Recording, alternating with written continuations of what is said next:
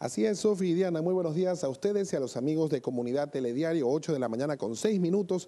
Lo mencionaban, qué importante y qué necesario es que todas las personas nos hagamos, porque incluso también yo hago mea culpa, nos hagamos un examen audiológico, porque normalmente hay muchas personas que el tema no le toma mucha importancia, dicen, ah, bueno, yo sigo escuchando bien, me pongo los audífonos, estoy perfectamente bien, escucho lo que me dicen, pero nunca nadie sabe a precisión cómo está su sistema auditivo y precisamente es lo que nosotros queremos llevar y transmitir en esta microonda muy importante que estamos esta mañana transmitiendo en vivo desde acá de Guayaquil. Este es el Centro Audiológico OBI, Oír Bien. Vamos a entrar un poquito, muy buenos días. Aquí nos están esperando porque queremos presentarles esta campaña muy importante que están haciendo los médicos de este centro eh, auditivo con el propósito de que, de que las personas sin importar sexo, sin importar su edad, eh, lo que sea, su condición económica, puedan acceder a exámenes gratuitos hasta el 15 de julio. Póngale mucha atención.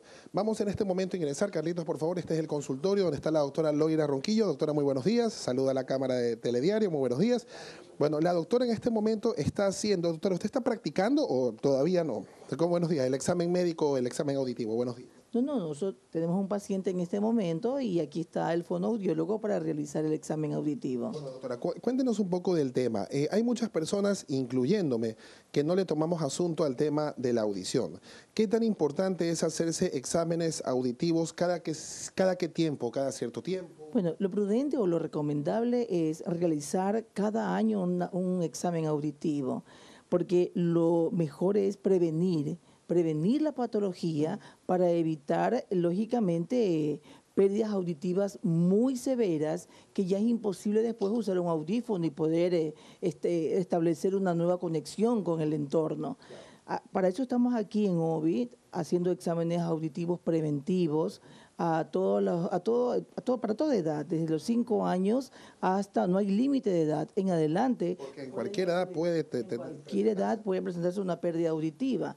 Entonces, aquí lo importante es captar al paciente con, conmigo, con el otorrinolaringólogo, realizar el examen y, lógicamente, determinar cuánto es la pérdida auditiva. En este momento, la paciente se está acercando... a realizar a la cabina audiométrica para que el fonoaudiólogo le coloque los auriculares y puedan realizar el examen de audición. Eso es lo que vale la, pena aclarar, doctora. No es que se trate de un examen, porque hay gente que les tenemos, hablando personalmente, les tenemos miedo a las agujas, a las inyecciones. Pero este es un, examen demasiado sencillo, solamente unos audífonos. Loro, inocuo, le van a colocar unos auriculares en las orejitas, van a enviar a través de una máquina sonidos que van a que el paciente va a responder cuánto escucha en cada, cada sonido. Doctora, la incidencia de pérdida de la audición en Ecuador es cada vez mayor. Se estima que a nivel mundial la pérdida de la audición está en un 5%. ¿De la población total de Ecuador? Total, no, no, del mundo. Ahora, si traspolamos esto al Ecuador, si el 5% equivale a un millón de personas, con pérdida auditiva. Imagínese usted, podríamos evitar que un millón de personas eh, puedan controlarse a tiempo y usar los dispositivos adecuados para volverlos a insertar en la comunidad. Por ejemplo, yo leía que la incidencia de pérdida de la audición progresiva, porque eso se va perdiendo poco a poco si no hay el cuidado debido, es después de los 35 años. Bien, la pérdida auditiva se puede, puede haber un problema pérdida auditiva congénito, porque la madre tuvo una enfermedad rubiola, citomegalovirus, y el niño nacer con un deterioro auditivo.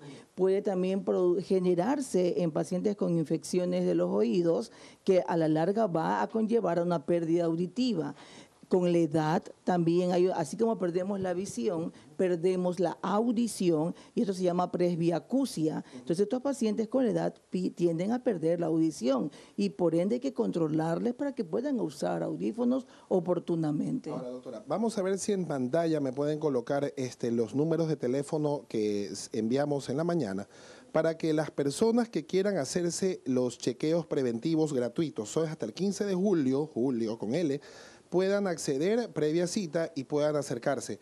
Lo importante de la campaña, amigo y amiga de Telediario, es que usted va a tener una facilidad de poderse realizar un examen que normalmente, ¿cuánto cuesta un examen auditivo? Oscila entre 30 y 40 dólares. Y están siendo gratuitos en este momento. Están haciendo gratuitos en este momento. Perfecto. Entonces, es una iniciativa muy importante del Centro Audiológico OBI. Si me puede, por favor, repetir los teléfonos. Los teléfonos son el 04 666 58. Repito, 04 666 58 o el número celular, apúntelo, 096 11 44 179. Entonces, ya están apareciendo los números en pantalla en este momento. Entonces, Diana, Sofía, es una oportunidad importante para que todas las personas que consideren que necesitan hacerse un examen audiológico puedan acceder de forma gratuita y sobre todo precautelando la salud auditiva, que eso es lo más importante. En una segunda salida vamos a presentar un poco más en detalle en qué consiste este examen audiológico. Son las 8 de la mañana con 12 minutos, compañeras.